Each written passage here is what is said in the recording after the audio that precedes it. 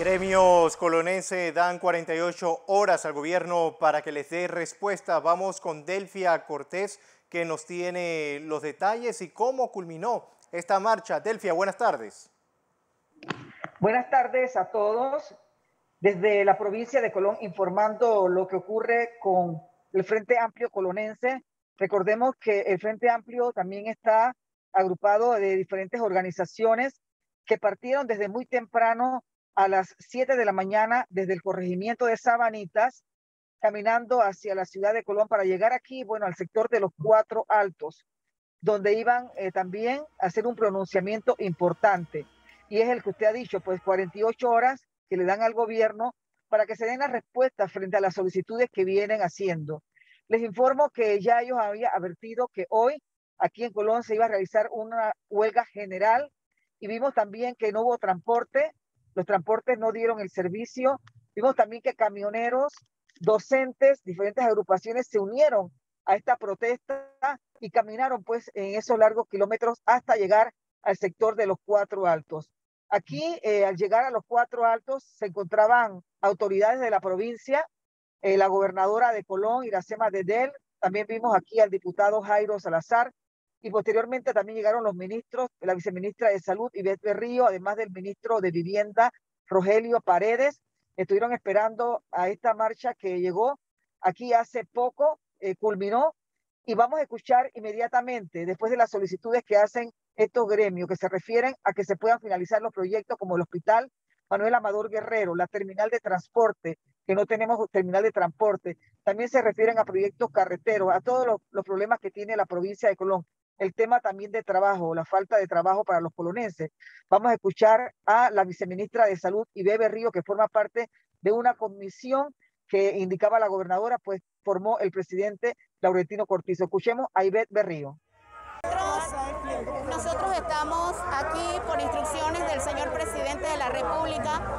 Esta es la comisión que él designó para escuchar, para escuchar a los manifestantes, recibir el pliego de peticiones y como gobierno vamos a sentarnos con ellos a ver las soluciones que ya el presidente también ha estimado. Entonces nosotros, siguiendo esa instrucción, para hablar con ellos, para hablar con ellos, para recibir las, las sugerencias y para poder organizarnos y ver y estudiar las respuestas que vamos a darle, porque Colón necesita respuesta. El presidente está claro y por eso ha designado a esta comisión de alto nivel.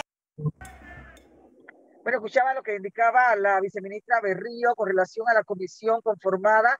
Se le ha dado pues 48 horas para que se puedan reunir y hablar de todos los problemas que tiene Colón. Pero también eh, vamos a escuchar a Edgardo Boitier, quien es dirigente del Frente Amplio Colonense. Aquí no ha habido una piedra, aquí no ha habido una quemadera de llanta, pero no se confundan. Ustedes no tienen idea de lo que este pueblo está sintiendo. Este pueblo tiene tanta calor y tanta frustración y tanta rabia acumulada. Por lo que hoy nuestro coordinador del Frente Amplio, Román Macías, le va a entregar el pliego de peticiones y les damos 48 horas.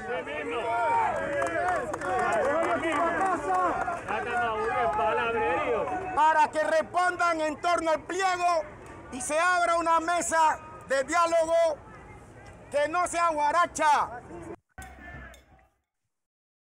Escucharon lo que indicó el dirigente Boitier, que se convoca pues también y se da solamente 48 horas, que no se hable en guaracha, sino que se llegue eh, a, en este caso, dar respuestas a los colonenses que la estaban esperando. Vimos muchos colonenses de diferentes agrupaciones participar en esta manifestación. Y vamos a escuchar también seguido a la gobernadora de Colón, Iracema Dedel, que indicaba que ellos estaban para atender a los manifestantes y que habían hecho una manifestación pacífica. Escuchemos. Manifesté hace día, yo estoy de acuerdo. Nosotros necesitamos nuestro hospital, nuestro gimnasio, que Colón mejore la estructura física, ¿cómo no?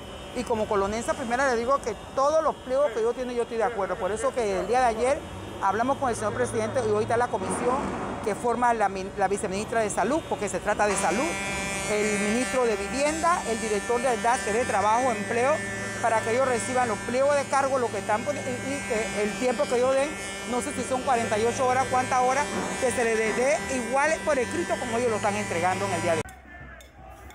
Bueno, les informo que aquí también estaba presente el diputado Jairo Salazar. Él informaba que estaba de acuerdo con esta manifestación, toda vez de que eran dirigentes serios los que estaban participando y que también Colón necesita que se le dé respuesta a todos los problemas que se tienen en esta provincia. Eh, se ha informado a los medios de comunicación por parte del Frente Amplio Colonense que se esperan las 48 horas. Ellos van a seguir también eh, divulgando todo lo que va a proceder después de lo que ocurrió hoy con esta marcha que fue muy pacífica, aunque se detuvo también mucho el tráfico por el tema de que se utilizaron los dos carriles hacia la ciudad de Colón y que partió desde el corregimiento de Sabanitas. Aquí nosotros vimos también la presencia de la Policía Nacional, que se encontraba en Cuatro Altos, pero no hubo ningún tipo de enfrentamiento. Eh, todo se realizó con tranquilidad eh, pasivo, pero sí hubo también mucha molestia pues de estos manifestantes que indican que ya es tiempo que se escuche a la provincia de Colón con tantos problemas que se tienen y es más, pues indican que hay un presidente que es colonense, un presidente que vive en Colón y que se quiere pues que el presidente dé la respuesta necesaria a todos esos temas y problemas que hay. El problema del hospital Manuel Amador Guerrero no se ha terminado de construir, el tema de la terminal no se ha construido, proyectos que han quedado también paralizados hasta este momento, una renovación pues que ellos indican pues que no se ha visto que la renovación ha sido satisfactoria hasta este momento. En la casa Wilco que hasta este momento pone en peligro a muchas personas, sin embargo no se deciden qué van a hacer con la casa Wilco y muchos otros temas más como la falta de empleo en esta provincia. Son parte de los problemas planteados y es lo que podemos informar desde la provincia de Colón. Soy Delfia Cortés para Next Noticias. Gracias, Delfia. Completo el informe que nos brindas a esta hora desde la provincia de Colón.